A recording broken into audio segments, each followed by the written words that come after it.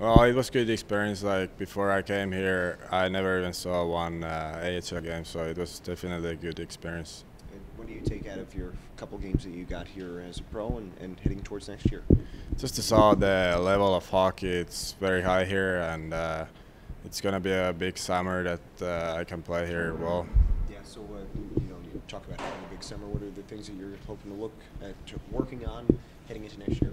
I need to get faster and stronger for sure, and uh, better conditioning too. Like it's it's hard battles all the time, so you you gotta you gotta play all 60 minutes.